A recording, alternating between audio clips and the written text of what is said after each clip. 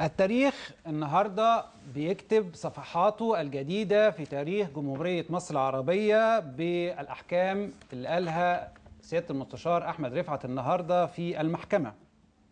والتاريخ برضه هيكتب أن الإعلام المصري هو الإعلام الوحيد اللي كان جوه القاعة وكان بينقل الأحداث بكل شفافية وبكل وضوح وبكل صراحة وبدون تحيز لأي طرف أيا كان. كل وسائل الإعلام العالمية والخبراء السياسيين أجمعوا أن التلفزيون المصري في انتخابات رئاسة الجمهورية هو أكثر الإعلام كان محايدا في آه، آه، تناوله لمرحلة انتخاب رئيس الجمهورية. الإعلام المصري اختلف تماما عن قبل ثورة 25 يناير. معايا ضيفي آه، آه، آه، النهارده وهم الدكتور محمد الباز مدرس بكلية الإعلام جامعة القاهرة ونائب رئيس تحرير جريدة الفجر والدكتور سعد الزنط رئيس مركز الدراسات الاستراتيجية والأ- وأخلاقيات الاتصال والخبير الاستراتيجي. صباح الخير يا فندم. صباح الخير يا شوف أنا هستأذن سيادتكم بس الدكتور سعد الزنط وأخلاقيات الاتصال. معناه إيه؟ بسم الله الرحمن الرحيم. هو الحقيقة آه، أخلاقيات الاتصال هي علم علم أخلاقيات الاتصال. نعم. وهو علم بيبحث في ترسيخ القيم الإنسانية نعم. على أي مستوى سواء كانت قيم إنسانية أو حتى القيم المهنية. في اتصال ال الإنسان بالآخر ايا كان الطرف الآخر اللي بيتصل بيه. نعم. اذا هو بيهتم بالقيم الإنسانية الكبيرة. أو ال- ال- العظيمة زي ال- العدل المساواة الحرية. وبعتقد إن الحرية هي أعظم هذه القيم. نعم. وهو طالما أنه علم فأنا الحقيقة آه، بقول إن إحنا ما أشد الحاجة إلى أخلاقيات الاتصال في هذه المرحلة. نعم. لأن أنا شايف إن إحنا كلنا الحقيقة آه، كل الناس بقت بتتكلم دون وعي. وربما يكون هناك أخطاء فنية لكن الأصعب أن تكون هناك إخفاقات أخلاقية. هذا ما نعاني في منه في مصر في هذه الفترة. لأن اخلاقيات الاتصال بتؤدي إلى شيء مهم جدا بترسخ ثقافة اسمها ثقافة الحوار أو ثقافة التفاوض بين الناس وبعضها. بتبعد آه، ثقافة ال- الإقصاء وانك تاخد كل حاجة لوحدك وإن إنك تخون الآخر وإنك تشكك في نوايا الآخر نعم. آه، علم أخلاقيات الاتصال بعتقد انه من العلوم الجديرة بينا في مصر ده علم عالمي. ده علم هو هو موجود في الغرب بس أنا عاوز أقول لحضرتك على حاجة آه. رغم إن هو آه، لم يدخل في مجال الأكاديمي إلا في نهاية الثمانينات وبداية التسعينات كرسالات أكاديمية في الدراسات العليا. نعم. لكن عاوز أقول للمصريين نعم. إن أول من كتب في أدب الأخلاقيات حكيم اسمه كاجمني آه، مصري في 2750 قبل الميلاد. طيب دكتور يعني إحنا كشعب أنا, أنا آسف جدا أنا. هقطعك لأن عندنا تليفون دلوقتي مراسلنا أستاذ أشرف عبد الوهاب مراسل نهارك سعيد. صباح الخير. أشرف. صباح الخير أشرف. صباح الخير. صباح الخير أشرف سامعني؟ سامع كويس اتفضل. أشرف أنت أنت متواجد في المكان هناك في آه، آه، آه، كلية الشرطة في التجمع الخامس؟ الحقيقة أشرف؟ أنا متواجد خارج محيط أكاديمية الشرطة خارج الأسوار أيوة. لرصد ردود الأفعال اللي حصلت الحقيقة بعد صدور الأحكام. أشرف هل الأمور هديت هناك ولا لسه في تراشق بالحجارة ما بين المتواجدين وقوات الشرطة؟ توقفت عمليات الرشق بالحجاره الحقيقة آه، لم تستمر فترة طويلة هدأت الأوضاع بشكل نسبي ولكن ما زالت حالات الغضب خارج محيط اسوار أكاديمية الشرطه وهناك مطالبة بالقصاص حتى الآن. أشرف القاعة دلوقتي داخليا كله اه- اه- اختفى خلاص كله كله روح؟ تقريبا داخل أكاديمية الشرطه في حالات مغادرة. وتقريبا الكل بيغادر ولكن خارج محيط اكاديميه الشرطه يرفض أهالي الشهداء والمصابين المغادرة وهناك حالات من النداءات بالتوجه إلى ميدان التحرير للتعبير عن الغضب والمطالبة باعاده المحاكمات والأحكام مرة أخرى. إليك أشرف. أشرف آه، آه، كم العدد اللي موجود قدامك قد إيه؟ الحقيقة ال- الأعداد دلوقتي حالا بتقل بشكل نسبي نتيجة تفريق ال- أهالي الشهداء والمصابين بعد عمليات التراشق بالحجارة الأعداد اللي قدامي لا تتعدى حوالي آه، 300 أو آه، 400 آه، فرد من أهالي الشهداء والمصابين والكل على أمة الاستعداد للمغادرة والتوجه إلى ميدان التحرير. إليك أشرف. أشرف عبد الوهاب مراسل نهارك سعيد شكرا جزيلا ليك شكرا يا أشرف شكرا لك. طيب آم، نرجع لحضرتك دكتور سعد الزنط آم، متابعة الإعلام للي بيحصل طول الوقت بكل صراحة وبكل وضوح بدون زيادة وبدون تقليل. كان عندي ضيوفي قاعدين في الاستوديو وكنا بنتكلم في الأحداث اللي حصلت النهاردة والأحكام اللي حصلت وقالها الدكتور المستشار أحمد رفعت. وفي نفس الوقت الكاميرا ثابتة على الأحداث اللي بتحصل والضرب و و و هستأذنك يا دكتور محمد الباز. إحنا اختلفنا. ولا ما اختلفناش؟ أنتوا مين؟ إعلام لأن إحنا كان موجه لينا الاتهامات شوف شوف هقول المباشرة هقول لحضرتك حاجة وكان آه، عندهم حق لا هقول لحضرتك حاجة أيوة. التعامل مع الإعلام آه، طول الوقت آه، يعني آه، تعامل نسبي تمام يعني إذا جينا نتكلم بشكل آه، مهني مهني مثلا قد يفاجئ الناس إنه آه، معالجة التلفزيون المصري لأحداث الثورة لأحداث الثورة آه، مهنية كويس بمعنى. إن أنا لما أحط المعالجة في سياقها وأرجع ملكية هذا الإعلام إلى السلطة. اللي هي كانت ضدها ثورة وهذا الإعلام تابع ليها وليس تابع آه، تبعية ال ال الإنفاق فقط ولكن هو تابع تبعية الفكر والعقيدة يعني الناس اللي كانوا في التلفزيون المصري آه، آه، طول الوقت هم تابعين فكرا وعقيده وتمويلا لسلطة كانت قايمة عليها ثورة فهم بيعالجوا الأمور من وجهة نظر هذه السلطة. عظيم. ففيما يسمى في موضوعية السياق فهذه معالجة مهنية. مم. كويس؟ معالجة إيه حضرتك؟ مهنية. تمام. مهنية. تمام. لأنه على سبيل المثال في المقابل مثلا معالجة قناة الجزيرة لأحداث الثورة هي معالجة مهنية من وجهة نظر اللي بيشوفوا مصالحهم أو اللي بيشوفوا أفكارهم مع الثورة. رغم إن المعالجتين كانوا مختلفتين تماما. لا التلفزيون المصري كان بيقول الحقيقة مم. كما حدثت ولا الجزيرة كانت بتقول الحقيقة كما حدثت في مم. قاعدة ولكن الجزيرة كانت أقرب لا للحقيقة لا لا كانت أكثر كان؟ تاثيرا لأسباب أخرى آه. أكثر تاثيرا نعم في في قاعدة إعلامية إحنا بنشتغل عليها تحديدا في التغطية الإخبارية نعم بتقول إيه بتقول ال- الأخبار ليس ما ينشر أو الأخبار ليس ما يحدث ولكن الأخبار هو ما تقول المصادر أنه حدث نعم كويس المصادر اللي هم مين المصادر اللي أنا بستقم يعني حضرتك دلوقتي اشرف اشرف عبد الوهاب دلوقتي آه بيقول إنه آه. آه. اهالي الشهداء في دعوات إن. هم يروحوا ميدان التحرير مم. يمكن أن آه أشوف آه آه مراسل تاني فما ما يكونش وصل له هذا هذه النداءات فيقول إن هم موجودين عند كليه الشرطه أو إن هم هيمشوا. فما ينشر في الصحف نعم. من أخبار زي ما بقول لحضرتك ليس هو ما يحدث على أرض الواقع. ولكن آه، آه، آه، ما تقول المصادر أنه حدث. وفي قاعدة تانية مم. دايما إحنا شغالين عليها إنه في الإعلام المصري والإعلام العربي بوجه عام.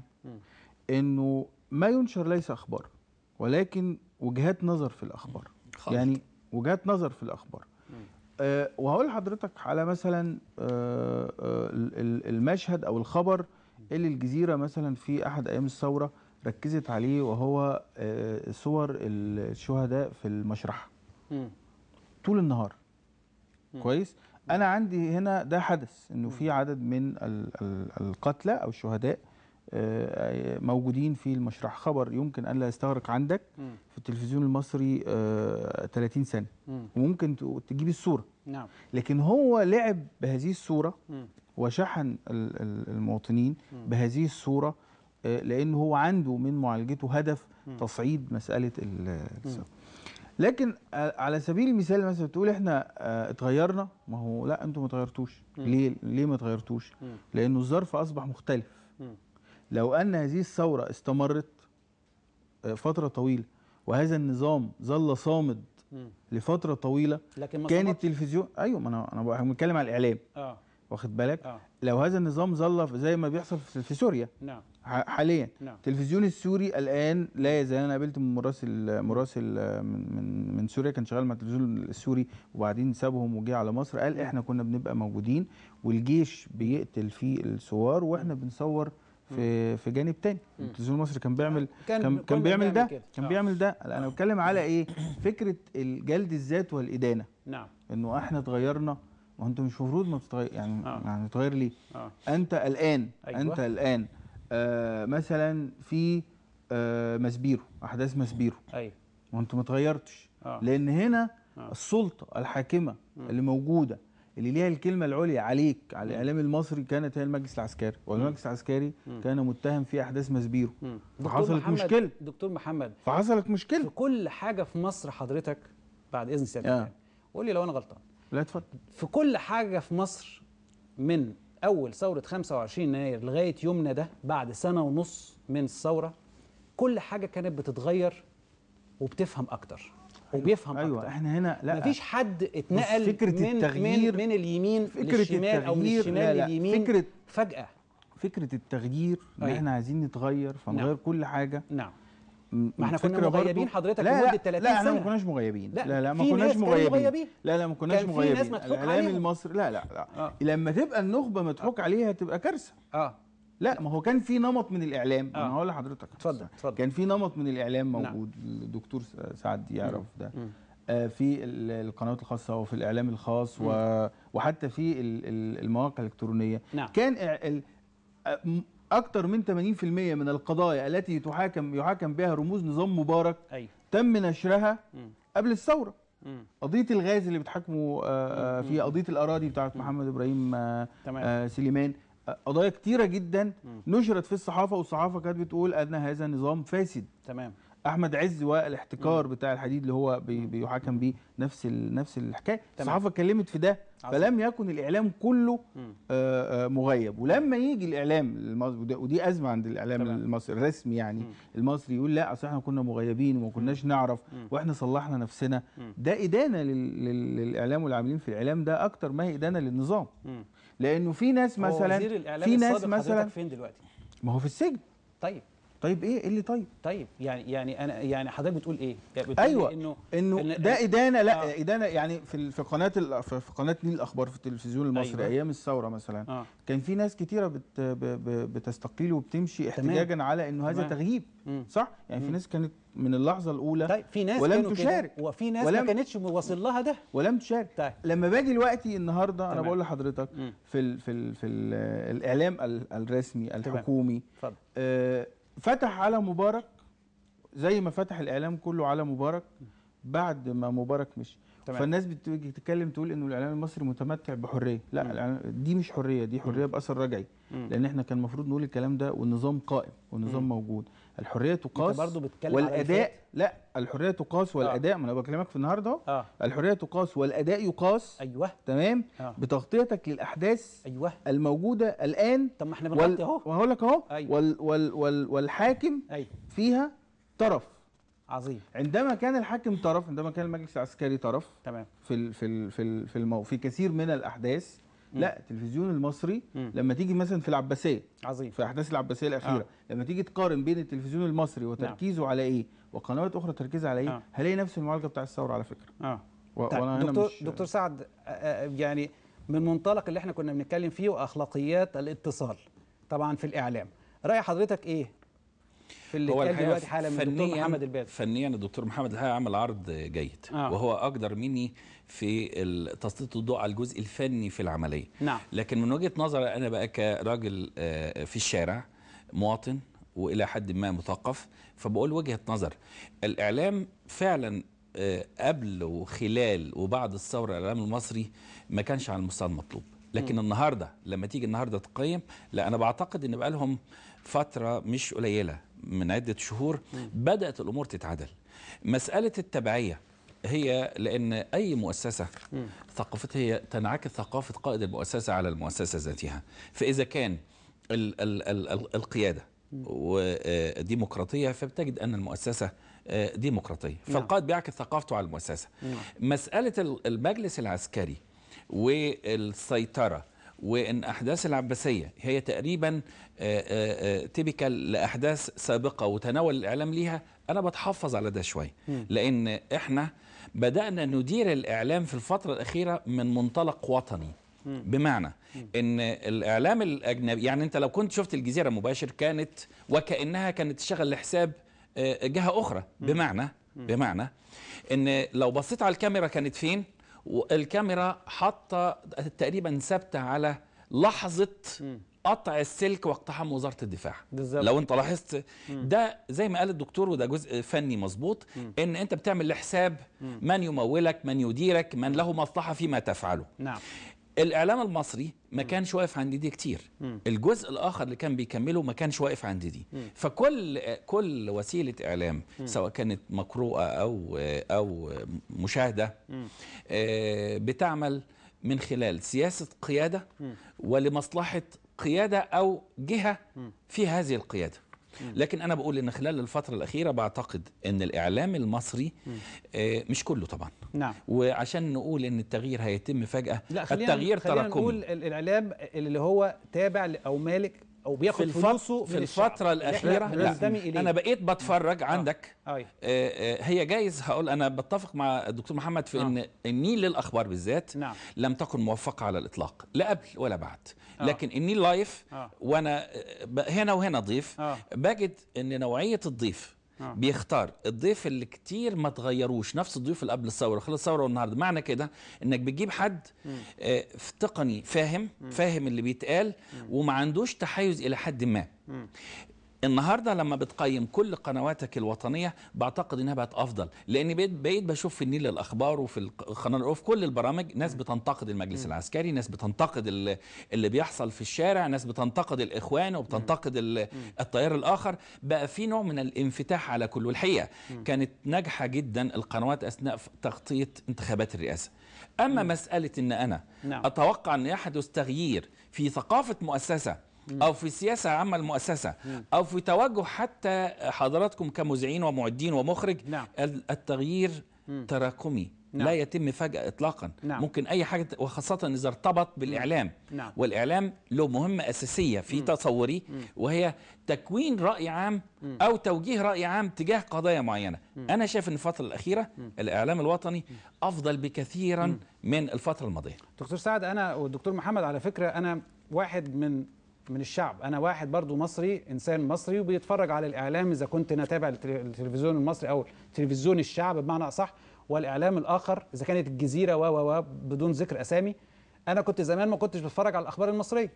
أنا دلوقتي بقيت أتفرج على الأخبار المصرية لأن كل الأخبار اللي بت... بت... بيدهاني آه، الأخبار المصرية إذا كانت الأولى ولا الثانية ولا الفضائية و بيشبعني في مع... مع... معرفة المعلومات الخاصة ببلدي.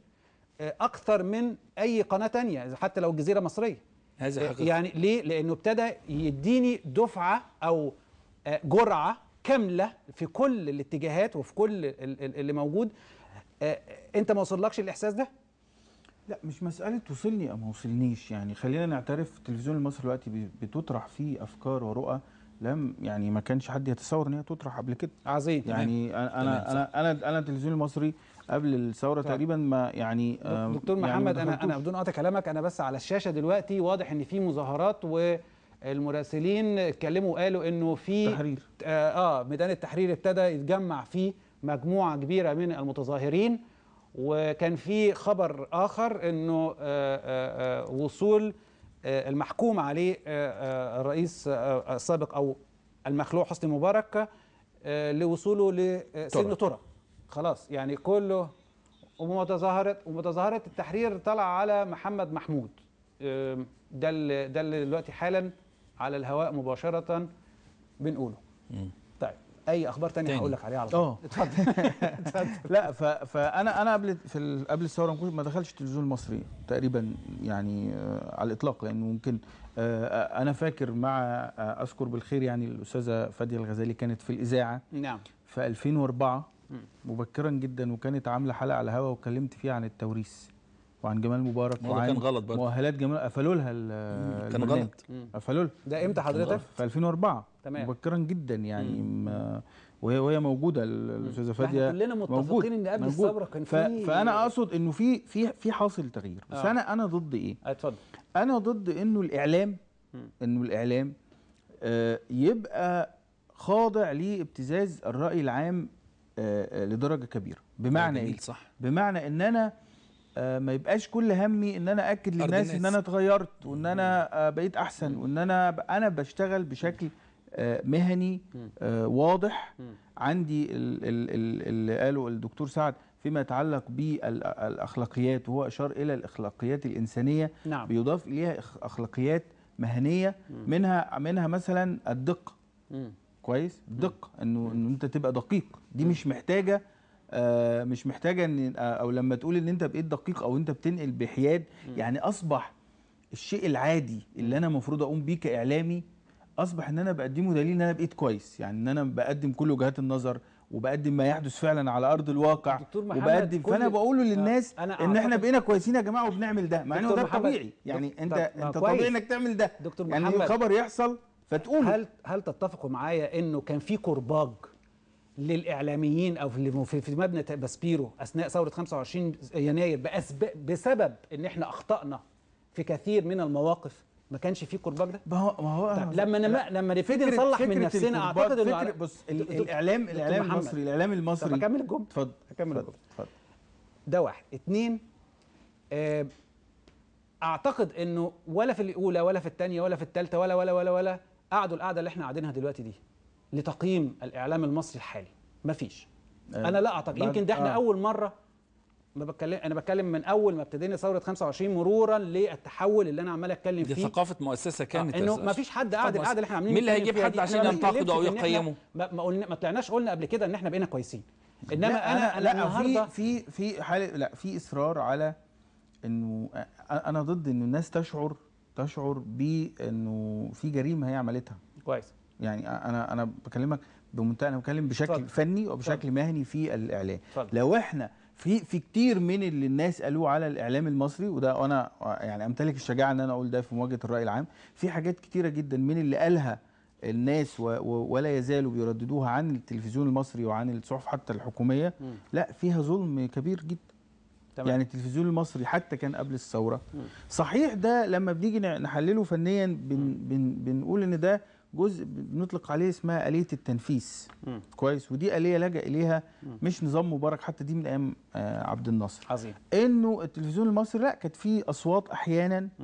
آه، بتطلع تتكلم وتطرح رؤى نقدية آه، كتيرة جدا. لكن كانت رؤى نقدية مرهونة بالسقف. نعم. يعني كانت في قضايا مع...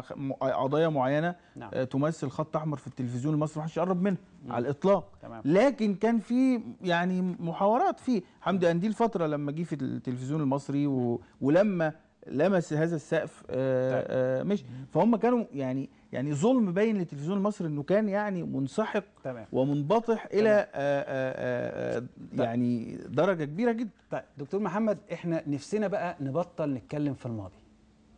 إذا كان في الإعلام إذا كان في في في في, في محاكمة الرئيس الس- آه، آه، المحكوم عليه حسني مبارك إذا كان في آه، آه، يعني ايا كان في الماضي. عايزين نبتدي نبص للمستقبل بقى. إحنا نبتدي نبص إن إحنا داخلين على انتخابات رئاسة جمهورية. إحنا داخلين على إن إحنا لازم يبقى في استقرار. إحنا داخلين على على على حضرتك دكتور سعد الزنت رئيس مركز الدراسات الاستراتيجية وأخلاقيات الاتصال وحضرتك خبير استراتيجي. شايف الوضع اللي إحنا رايحين له إيه دلوقتي؟ هل رايحين لاستقرار ولا بالحكم بتاع النهارده ده إحنا ناويين آه، نرجع تاني لعدم الاستقرار؟ إيه، أرجع لورا سنة صغيرة اللي حضرتك كنت بتقوله موضوع إن إحنا يجب أن ننسى الماضي وننطلق للمستقبل ده كلام جميل جدا. لكن أنا عاوز أقول لك على حاجة وأنت دايما سايق العربيه اتفضل. بتقود سيارتك على طريق سريع. دايما باصص لقدام. لا. في لحظة بتلمح فيها المرايتين اللي في الجنب واللي في وش عشان تلمح اللي وراك. صحيح. واللي في جنابك. لو ما عملتش كده صحيح. احتمال إنك أنت نسبة الخطأ تبقى أكبر. فإحنا ال... إحنا إحنا المستقبل إحنا بنستعير المستقبل ما هوش ملكنا. إحنا بنستعيره من آخرين هو ملكهم اللي هم الشباب. نعم. فده جزء. الجزء الثاني بالنسبة للي جاي. بعتقد إن اللي جاي لسه في مشاكل هي مشاكل طبيعية ومجموعة أزمات آه، طبيعية. هنوصل بعدها لمرحلة استقرار. بمعنى إن لو انطلقنا من النهارده بلاش الماضي من أحكام اليوم. هتجد إن آه، في ناس كتيرة مش عاجبها الحكم وناس أكتر ارتاحت للحكم. ثقافه ثقافتنا إحنا كمصريين دائما نصدم رغم إن إحنا لأن إحنا ما بنؤهلش نفسنا نبقى موضوعيين. اللي أصدر الحكم دي محكمة محترمة وقاضي الجميع شاهد ليه الحقيقة بأنه قاضي عادل ونزيه. لكن مشكلتنا إن كل اللي بيطلع يتكلم النهارده. يعني انت ممكن تلاقيني أنا كراجل بتاع آه، إدارة والدكتور محمد كراجل بتاع إعلام وسياسة آه، قد نعلق على نعلق على على الأحكام رغم إن هي مسألة فنية. اخلاقيا لا يجب أن أن نعلق على الأحكام. لكن نقدر نقول إحنا وجهة نظرنا في اللي بيحصل إيه بعيدا عن التعليق على الحكم لأن حكم نهائي وبات. حتى لو كان في نقد ده حكم نهائي في الجناية. اذا أنا بقول إذا كان النهارده هيحصل نوع من ال من من ال من الايه من الاستنفار لبعض القوى وجميع القوى سواء القوى آه، الحكم التماس معها أو وجدت إن في استثمار تستثمر هذا الحكم لإشعال حركة تستفيد منها. وأقصد أننا مقبلين على آه، آه، انتخابات. رئاسه عندنا تيار إسلامي الاخوان بالذات يستغلوا كل شاردة وواردة لإشعال ال- ال- الطرق كلها الحقيقة وعندك آه، شفيق النهارده ربما البعض يعتقد إن هو بالحكم ده هو في موقف ضعف ويجب إن هو يحاصر بهذا الحكم. أنا بجد إن الفترة القادمة آه، بلاش نقول إيه اللي ممكن هيحصل لأن هتحصل بعض الأزمات. إحنا اللي بنتمناها إيه؟ اللي بنتمناها إن الناس يبقى عندها مزيد من الوعي وتاخد بالها من إن مصر أغلى من أي حد ومن أي حاجة. لازم نهدى شوية. لازم حتى اللي بيتكلم في الإعلام والإعلام مؤثر للغاية وهيبقى مؤثر الفترة اللي جاية جدا.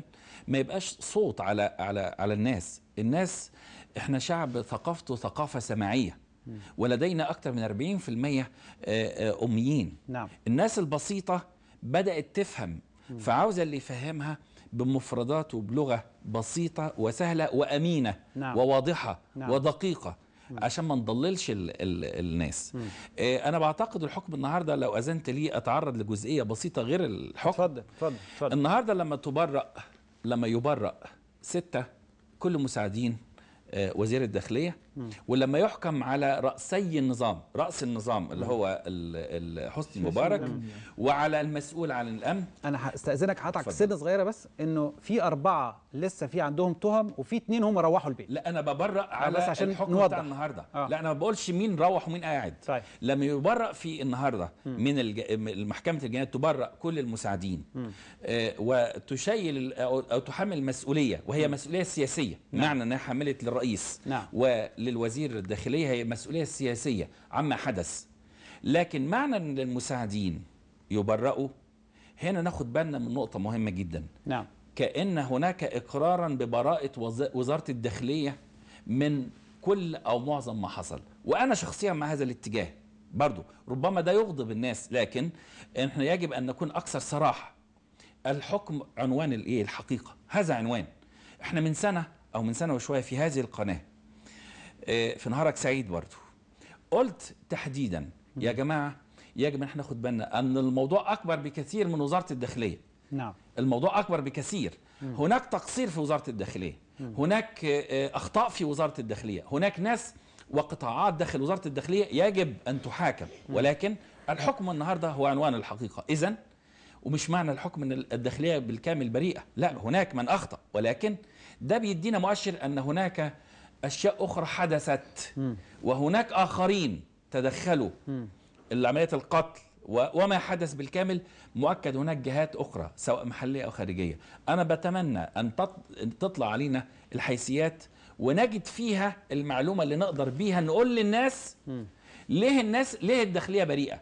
ليه ليه القاضي بره كل مساعدين وزير الداخلية؟ أتمنى إن ده يبقى الفترة اللي جاية. أتمنى عن التيار الإسلامي وخاصة الإخوان المسلمون إن لا يستعملوا هذا الحكم في إشعال مصر مرة أخرى لأن هم متخصصين وخاصة التجربة خلال الأسابيع القليلة الماضية نفس المفردات المتعالية القاسية نفس الأسلوب ال ال ال- المقصي للآخر نفس الأسلوب الحق المتعالي والمتعجرف. هذا الأسلوب إحنا في غنى عنه. مم. يجب ان إحنا نعرف مصر بلدنا. إحنا ما حدش فينا مأجر مفروش. نعم. كلنا نمتلك. مسلم قبطي ليبرالي ايا كان كلنا نمتلك. تمام. يجب ان إحنا يبقى عندنا من الوعي والأمانة اللي بيه نقدر نهدي به الأمور الفترة اللي جاية. دكتور محمد آه، أنا شايفك عايز تقول حاجة. آه لا يعني انت أنا نفسك تقول حاجة أنا جدا. أنا م- يعني من من كلام الدكتور سعد في إنه لا تعرض للاجزاء الفنية في الحكم لأنه ده مش اختصاصنا. آه. وخصوصا لكن لسه ما الحيثيات. آه آه، لكن. النهارده لما أقول إنه القاعدة القانونية الشهيرة إنه ان الحكم عنوان الحقيقة لا أنا مش قدام عنوان حقيقة النهارده. أنا قدام إنه هذا الحكم يضيف إلى الحياة السياسية المصرية لغز جديد لأنه آه، آه، إذا كان تم تحميل مبارك والعدلي المسؤولية السياسية لل- للقتل المتظاهرين إحنا قدامنا جثة إحنا عندنا حوالي 1230 شهيد في الثورة الإحصائيات النهارده إنه أصغر واحد عنده 8 سنين وأكبر واحد عنده 70 سنة ومتوسط العمر 20 سنة عندي أكتر يعني 1200 شا- واحد ماتوا نعم آه، مين اللي مات- دول؟ يعني مين اللي قتلهم؟ الفعل الجنائي مين اللي قتلهم؟ إحنا قدام آه، عملية تعمية وتضليل من من فترة طويلة جدا إن هناك جهات خارجية والقناصة جم من بره والقناصة جم من جوه. يعني الرأي العام النهارده اللي إحنا لو بنتكلم بقى في اللي جاي في المستقبل في عملية انتخابية و و إلى آخره. أنا أنا ما بتوقعش إن الدنيا تقوم وتولع كمان لأنه حصل تكسير للشخصية المصرية للأسف الشديد بعد الثورة بحوالي شهر اتنين كان في حالة انتشاء يعني هذا الشعب الذي كان ينظر له العالم كله إنه خلاص بقى في سبات عميق مات. ما عادش في منه رجا ما عادش يعني آه ما عادش في خلاص اندفن يعني. فإذا بيه ينهض ويخلع آه رأس النظام ويقوم بثورة زي ما قعدنا نقول العالم كله اتعلم منها و و إلى نعم. اخره يعني لكن الحقيقة حصل تكسير لهذا لهذا الإحساس. وعايز أقول لك مثلا على حاجة ألوم فيها ال- الم- المسؤولين عن إدارة البلاد يعني. يعني ميدان التحرير آه يعني تحول إلى خراب كمكان. يعني لما تيجي تنزل تبقى أنت مش عاوز تروح ميدان التحرير. ده حقيقي. يعني قاعدين بي- يعني آه. بياعين و-. فهذا المكان هذا المكان الذي كان من المفروض أن يتحول إلى. أيقونة للشعب المصري أو للمصريين وأنه دليل الميدان دليل على حيوية هذا الشعب وأنه آه، قد يصمت طويلا لكنه لا يموت ابدا. مم. يتحول إلى آه، آه، هذه الخرابة. ده ليه دلالة؟ إلى أن هناك رغبة ما من جهة ما نعم. لتشويه هذه التجربة تماما. وتم تشويه عدد- كبير جدا من الثوار والمكان اللي, اللي زي ما بقول لحضرتك كان يمكن أن يصبح يتحول إلى مزار عالمي الناس تيجي تشوف كيف حدثت هذه هذه المعجزة. لمزار عالمي برضه يمكن. لسه. أيوة يعني إحنا, لسه إحنا ممكن. بنتكلم على آه. إحنا بنتكلم على آه، آه، آه، يعني ما أستطيع أن أقول أنه مخطط تم تنفيذه آه، بدقة وبصبر شديد. ويمكن مظبوط. حضرتك مظبوط. يعني لا يعني في أنا عندك دلوقتي م- الأسماء ال ال ال الشهيرة الموجودة اللي شاركت في الثورة وخططت ليها معظمها إما ناس اعتقلوا إما ناس وجهت لهم اتهامات إما ناس صدرت عليهم آه آه أحكام. فلا اللي قاموا بالثورة فعليا واللي نزلوا التحرير فعليا في 25 وفي 28 وواجهوا ال- النظام ليسوا هم الآن الذين يحصدون ثمار هذه الثورة. نعم. أخوان المسلمين نزلوا يوم 28 بعد ما يعني يشوفوا تأكدوا. المسألة رايحه فين. مم. ف وده ينطبق عليها القاعدة إنه فعلا الثورات بيصنعها الأبطال ويحصد نعم. ثمارها الانتهازيين. نعم. دكتور محمد ه- هرجع للموضوع ده ما تقلقش. ما إحنا معانا وقت الحمد لله. بس معايا آه الأستاذ آه محمد الغ- الغزاوي مراسل روزا اليوسف في بورسعيد. صباح الخير. صباح الخير يا أستاذ شكرا محمد آه حضرتك متواجد فين دلوقتي؟ أنا آه، متواجد آه، بالقرب من آه، مبنى ديوان عام محافظة بورسعيد والمرافق ليه آه، مبنى مديرية أمن بورسعيد. ممكن بعد إذن سيادتك تشرح لنا الوضع قدامك عامل إزاي؟ هو آه، آه، آه، تحديدا آه، ما زالت آه، الأمور آه، آه، في الشارع البورسعيدي آه، هادئة آه، وسط جو حذر جدا. آه، هناك آه، بعض آه، الدعاوى من القوى الثورية بالخروج للتظاهر آه، آه، ضد آه، آه، الحكم واعتراضا على الحكم الصادر آه، آه، اليوم. آه، بالإضافة إلى آه، آه، ما يقابلها من آه، دعوة من آه، القيادات آه، داخل حزب الحرية والعدالة وبعض أعضاء آه، مجلسي الشعب والشورى والقيادات السياسية بعدم الخروج وعدم إعطاء الفرصة وعدم السماح لما أسموه بالمخطط الذي يدفع مصر إلى ال- ال- الهاوية أو إلى حافه الهاوية كما ذكروا لي. وأن ذلك الحكم صدوره تحديدا في ذلك التوقيت ما هو إلا بداية للفوضى ولكنهم راهنوا على مدى وعي الشعب البورسعيدي في ذلك الأمر. يمكن كان هناك العديد من اللقاءات ببعض النشطاء وأعضاء مجلسي الشعب والشورى. هناك الناشط السياسي من ائتلاف شباب الثورة محمد الحديدي. أوضح أن ال- ال- الأمر ما هو إلا مؤامرة منذ بداية التحقيقات. اشتركت فيها هيئة المحكمة وأن النيابة عندما طلبت معاونة بعض الجهات ولم تستجيب لها فكان لزاما على المحكمة أن تلزم تلك الجهات وتعلن للشارع المصري كام- كاملا من الجهات التي ما زالت تتورط في آه، الفساد. النائب علي ذرة عن حزب الحرية والعدالة أخبرني بأنه سوف يتقدم في آه، صباح الغد ببيان عاجل آه، آه، وسط آه، لإعادة المحاكمة مجددا آه، آه، وأن الأمر آه، هنا أن هناك تعهدات من الحرية والعدالة باعاده محاكمة المتهمين وأسمى ما تم بأنه مسرحية هزلية. منذ قليل حدثني النائب محمد برع عضو مجلس النائب محمد جاد عضو مجلس الشعب عن حزب الوفد. أيضا أضاف أنه أن أنه سيتقدم صباح الغد ببيان عاجل في ذلك الأمر. ولكنه أكد أن الحكم الصادر ما هو إلا حكم سياسي فيما يخص مبارك والعدلي آه، فيما يخص المستندات والأدلة فأكد أن حكم البراءة لمساعدي العدلي ونجلي مبارك وفقا لما قدم من مستندات ودلائل قد تكون خاوية وهو ما حكمت به هيئة المحكمة اليوم. ولكنه آه، ذكر أن الفقرة 15 من القانون آه، التي استندت عليه المحكمة فيما يخص السقوط بالتقادم لعشر سنوات أنه أكد أن آه، الغاز الذي يضخ إلى إسرائيل لم يقف أكثر منذ إلا مدة أقل من سنة سنة تقريبا بالإضافة إلى أن الموظف الوحيد الحكومي وفق ما جاء في نهاية هذه الفقرة هو محمد حسني مبارك وأنه آه، آه، آه، باقي المتهمين ليسوا موظفين عموميين وأن من المفترض أن تكون هناك حكم رادع في هذا الأمر. آه، تمام. قياده سلفيه النائب ال- ال- ال- الشيخ علي فودة من قيادات الدعوة السلفية في محافظة بورسعيد قال لماذا لم يصدر الحكم وفق ما ذكره رئيس المحكمة من مقدمة طويلة عن دماء الشهداء والفساد و أضاف علي فوده بأنه آه، آه، آه، يضاف إليها تجويع الشعب المصري وخلافه فانه يجب أن يكون هناك حكم ثوري في هذا الأمر. آه، آه، آه، تهمه آه، أن يحاكموا بتهمة الخيانة العظمى. هذا هو ال- الدليل. ولكن الجميع آه، أكدوا أن هناك من يدفع مصر إلى آه، طريق واحد أو مصير واحد. أخبروني أنه إذا كان هناك من يتردد في الفترة آه، الماضية في التصويت لصالح مرشح ضد آخر فإن الأمور كلها سوف تسير في اتجاه واحد وهو اختيار مرشح حتى لو كان عدم الاقتناع ولكنه نتاج للحكم. هذا ما الوضع داخل بورسعيد. ربما تسفر الساعات القليلة القادمة عن الجديد ولكن الكل يترقب وسط حذر تام. دعني أقول لك أن. البداية بدا اتفضل.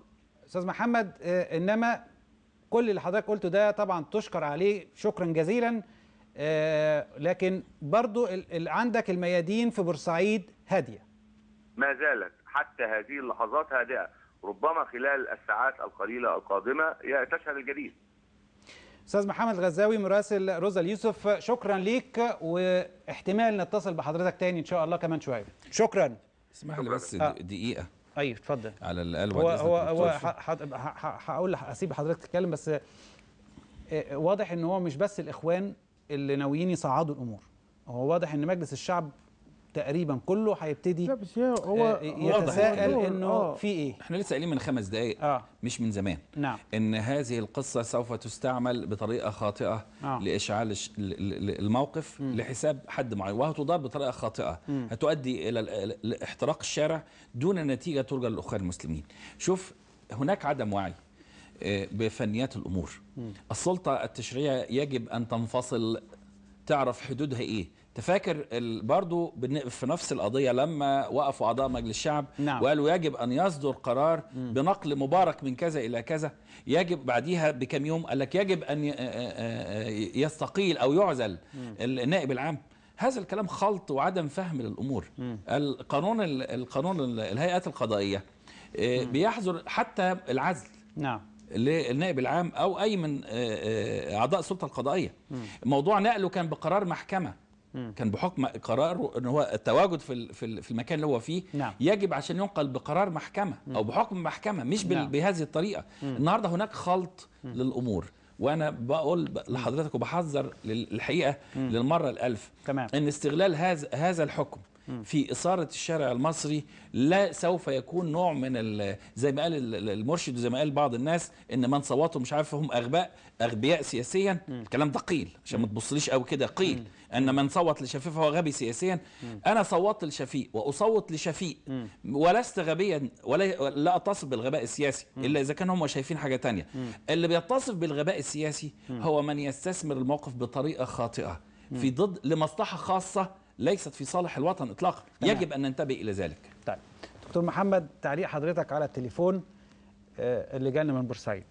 لا أنا أنا شايف إنه ال ال الإخوان المسلمين يعني م- مش هيلجأوا إلى تصعيد المسألة لأنه التصعيد والفوضى اللي ممكن تحصل في الشارع المصري آه، ممكن تبقى ضد آه، العملية الانتخابية الرئاسية لو حصلت فوضى على مستوى مظاهرات واعتصامات ويعني لكن أنا أعتقد إن هم هي- هيبدأوا في استغلال هذا ال- الحكم آه، اعلاميا لل آه، يعني لتوجيه الرأي العام إلى إنه لأنه إحنا قدام حكم الحقيقة آه، لم يشفي غليل ال- الناس. وده مش ودي مش شغلانة القاضي بالمناسبة إن هو يشفي غليل الناس. هو بيحكم بما لديه من أوراق. لأن صحيح. القضية دي كان عن فيها صحيح. شقين. الشق الجنائي الخاص بأهالي الشهداء اللي هم عندهم ولاد ماتوا وشايفين إن دول ناس قتلوهم ولابد إن هم يقتلوا. و- وده آه، قضية شخصية. يعني ابني مات وأنا عارف إنه ده اللي قتله فأنا عاوزه. والقضية الثانية قضية سياسية مع الشعب المصري كله. مم. يعني أنا أعتقد إنه هذه القضية طبقا لخبراء قانونيين طلعوا على على القضية مبكرا جدا نعم. قالوا إنه هذه القضية ما فيش قضية من الأساس لأن النيابة آه يعني راحت ال- القضية راحت المحكمة نعم. وليس هناك ما يسندها أو هناك أدلة أو أو إلى آخره وأعتقد إنه هذا الحكم هذا الحكم بدون يعني آه، آه، حكم سياسي بالدرجة الأولى.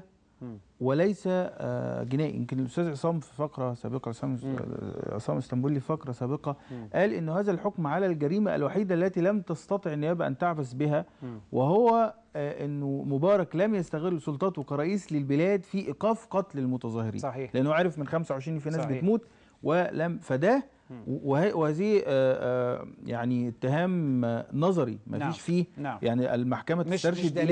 اليه تسترشد. إليه لا آه. المحكمة تسترشد إليه مما آه. لديها من وقائع طيب. تمام. فأنا هنا قدام حاضر آه، آه، حكم تمام سياسي ومع ذلك لم يشفي غليل الناس. دكتور محمد الباز مدرس بكلية الإعلام جامعة القاهرة ونائب رئيس تحرير جريدة الفجر والدكتور سعد الزنطن رئيس مركز الدراسات الاستراتيجية وأخلاقيات الاتصال والخبير الاستراتيجي. نورتونا وشكرا جزيلا يا فندم لحضراتكم. شكرا. شكرا ليك. والمخرج بيقول لي لازم أنهي حالا لأنه هيقطعوا علينا الهوا. يا رب مصر تستقر. بس.